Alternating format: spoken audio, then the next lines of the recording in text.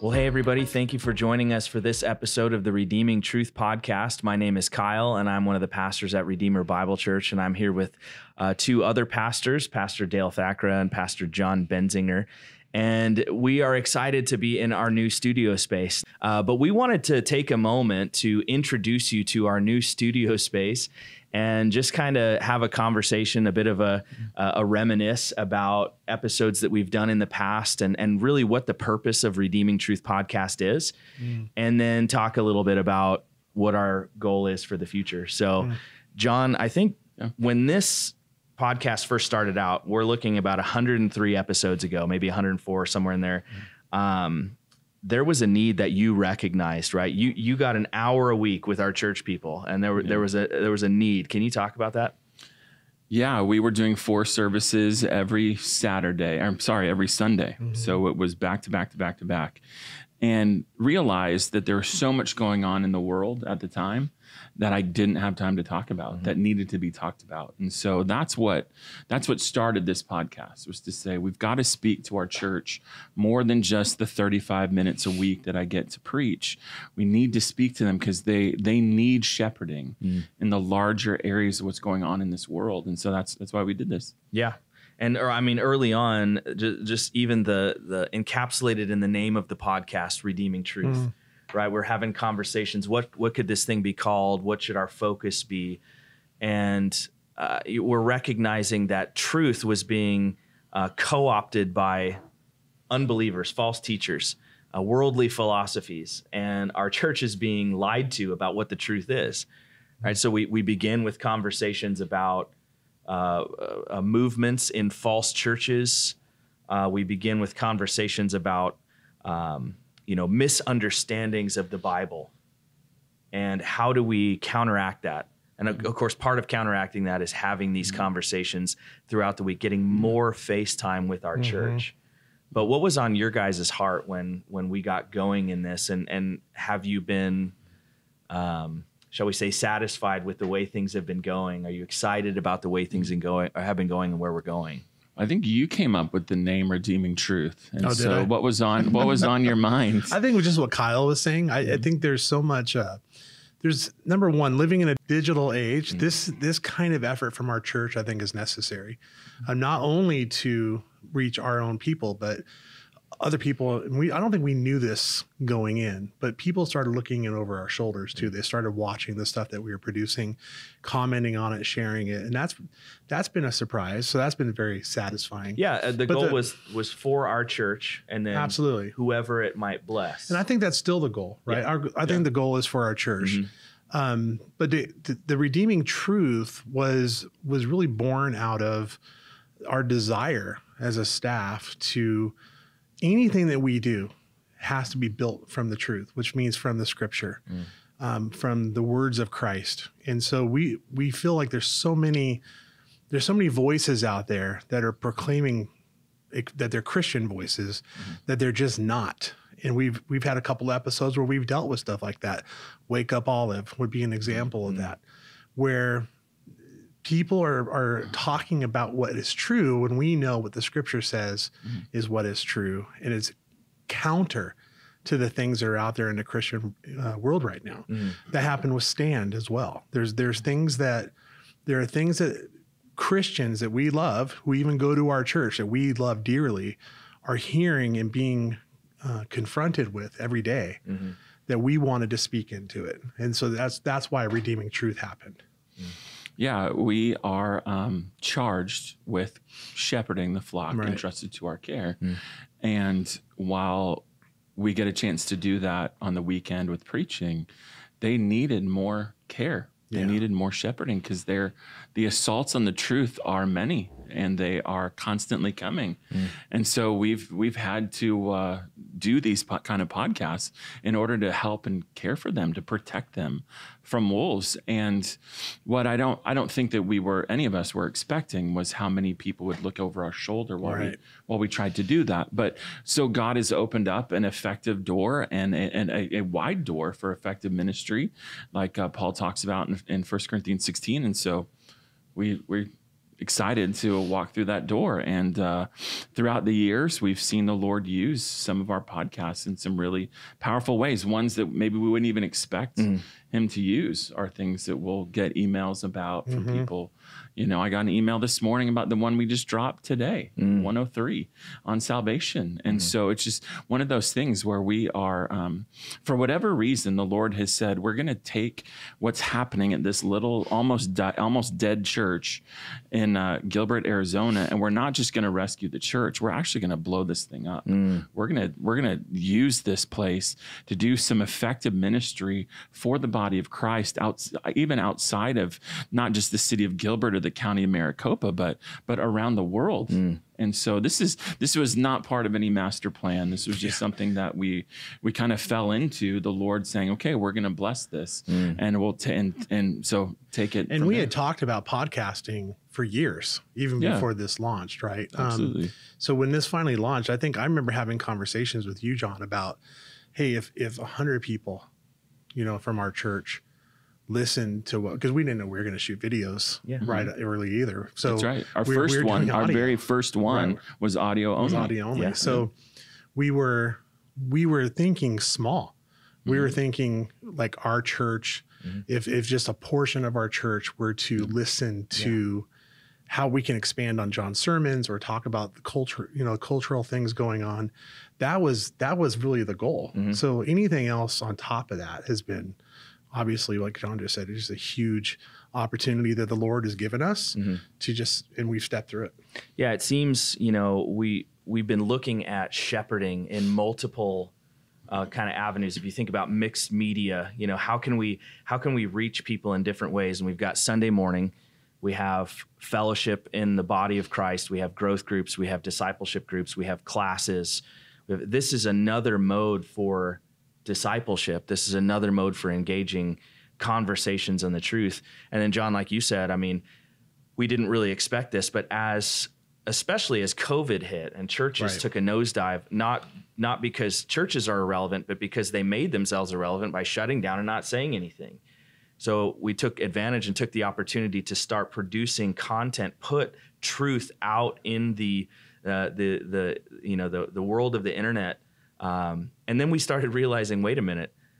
I think you're the first person I heard say this in our circle, Jon, was uh, this is an audience that has a population combined that's larger than China and Russia put together. This exactly. is a huge online mission field. Mm-hmm. So not only is Redeeming Truth a great opportunity for us to continue to shepherd the flock among us, but to cast truth out into a, a, a generally unreached group by anyone other than false teachers. That's right? right. Yeah, the false teachers dominate the online space. Mm-hmm. They own it. They are the most popular.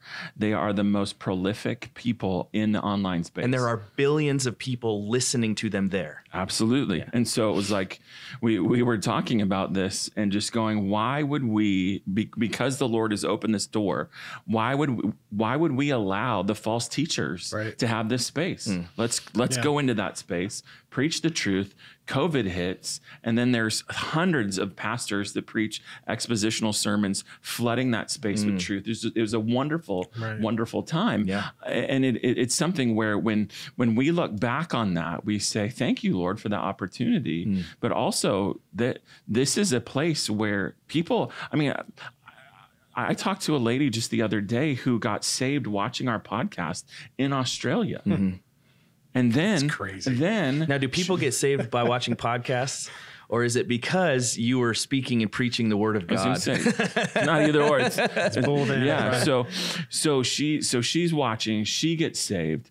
Then she, she um, reconnects with her husband. He gets saved. Mm. They were, they were estranged. Her kids are now saved. Mm. And now they're just like, we, we want to come to America and meet you. And we want to go to, we want to do an entire thing in America where we go to all these ministries mm-hmm. that impacted us wow. during 2020. That's That's and she said, like, and yours is the one we want to go to the most. Wow. And so here we are, this little church in the middle of nowhere.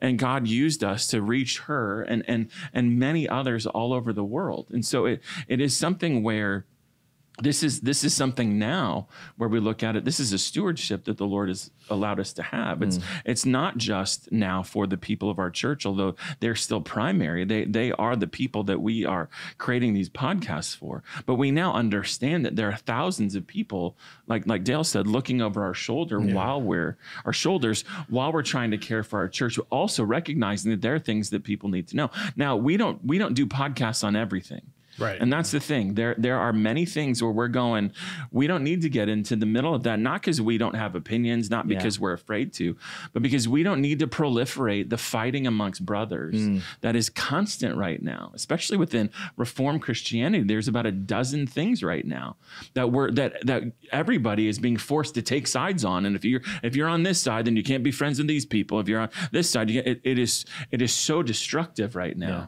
And so there, there are many things that people ask is, hey, can you do a podcast on such and such? We're like, no, yeah, we're just not going to do a podcast. There's 12 that. other guys doing a podcast and on they that. can watch that. Somebody's on a circuit, you know, promoting Go their ahead. book, whatever. Great. And then we're called chickens. No, no problem with that. But yeah, right. we're we're primarily focused on our own church and shepherding our own church. Yep. Which brings me to the next question. Yeah. Which is in looking back at some of our episodes, do you guys have any favorites that stand out? And I will start and I think it comes back to what you just said is episode 85. Mm. Now we called it how to fight on Twitter, which, you know, that's just kind of a provocative title, but really it's a focus on Romans 12 and how we can as Christians show unity with Christians, not with false Christians, with Christians and outdo one another in showing honor and brotherly love. And I thought that was a very necessary conversation. It was impactful for my own heart. Mm. And I love that we put that one yeah. out there. Well, you can tell we didn't prep that question because I'm sitting going through the Rolodex in my mind right now of the things that we've talked about. Um, I've I've loved some of the guests that we've had. I yeah. mean, I think yeah. about having Owen Strachan on here. Um, I think about just some of the um, Bill Roach was a good episode. I, have loved yeah. I've loved uh, our own David Farnell mm-hmm. talking about you know it's just there's been such a wide swath yeah. of, of episodes for me that it would be hard for me to to kind of nail one down. And some might think like well, the ones that got 500,000 views. That, that's fine, mm-hmm. but for me, it's the content that matters the most, not yeah. the viewership. So, um, yeah, it's the ones we have the conversations with our people who yeah. came and they said that really hit me, where the the, the Lord was working on yeah, my heart. For yeah. sure. Yeah, I I think for me, there, there's some recent ones that I've really enjoyed, but there's a, a section in the early 70s of our episodes when we talked about social justice mm-hmm. where we where we had Owen Strachan and Alisa Childers mm-hmm. we had the guys from Just Thinking Darrell and Virgil who we love dearly mm-hmm. we had uh, a bunch of we, we, had a couple of uh, we had about six different interviews all all jammed into one I think in, in the first one and so and we had Bill Roach. And right. so so those were those I think were significant because that was in the middle of 2020 and the, the heights of uh, of the riots and the election. And it was a, a very needed line in the sand that had to be drawn here at Redeemer in this community as other churches sadly were going woke embracing marxist ideology baptizing it with christianity. And so we had to take a line in the sand. And what that did is protect not only our flock, but it told people all over the world that is a place over there where I'm going to be safe. Yeah. I'm going to be safe from the from the false doctrine. I'm going to be safe from the ideology mm. in a place where they're going to hold on to and preach the truth. And that's what elders are supposed to do. We're told to hold fast to the faithful word, Titus mm. 1, 1 9, be able to re- exhort and sound doctrine, refute those who contradict. And that's really what our job is supposed to be. This is how we care for our flock. But we, we, it starts by holding fast to the word. So I love that one. I love our, our interview with, with Dr. Farnell and Bill mm. Roach on yeah. inerrancy because yeah. that's where we're taking another line in the sand and yeah. saying we don't we don't care where evangelicalism is going. That it's it's becoming a lost movement. Yeah we're going to stand with the historic evangelicals who said inerrancy was the was the watershed issue Mm. This is what separates us. This in the Trinity separates us from everybody else. Yeah. So we're going to hold firm to historic doctrine of the Trinity as uh, as summarized in the in the uh, Chicago Statement, mm. and we're going to stand against social justice because it's another religion. We we had a, we, we just had a recent one uh, against Roman Catholicism. Mm. Same thing. Yeah, episode this 100. Is, this is not a uh, another denomination. This is a false religion. This is our yeah. mission field you know and so bringing that kind of clarity yeah it causes people to leave our church. I get it, it causes people to put all kinds of nasty comments. It's fine. We don't really care. We don't even read the comments anyway mm. you know but it's one of those things where we had to be we had to do this yeah. because we are in a time when the truth is being attacked. If we're going to redeem it if we're going to buy it back from the attack yeah. we're going to do that. Why? For the sake of the flock that's been entrusted yeah so if somebody comes to us and says the world is changing. Nothing's going to stop it. You better get on board. We say we're already on board with Jesus. Mm, yeah. And, and, we're going to do yeah. our best to put a uh, to put all kinds of problems on on. We're going to put a bomb underneath that train. Yeah, proverbially. Yeah, proverbially. proverbially. We're going to blow that bomb. thing up. We're going to come after that, and we're going to yeah. blow it up because well, it, you are attacking the truth.